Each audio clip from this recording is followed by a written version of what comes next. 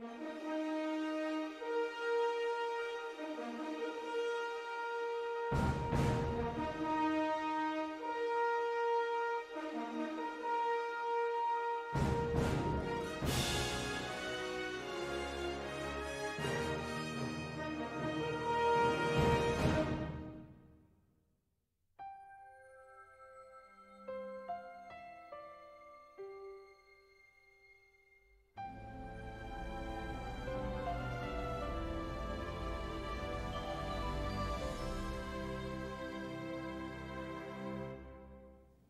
Ellie, can we get a recap?